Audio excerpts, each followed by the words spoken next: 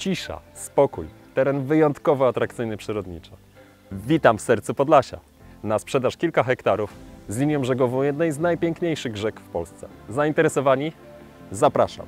Jesteśmy na terenie Biebrzańskiego Parku Narodowego, tuż obok twierdzy Osowiec i w bliskiej odległości miasteczka Goniące. Powierzchnia tej działki to ponad 6 hektarów.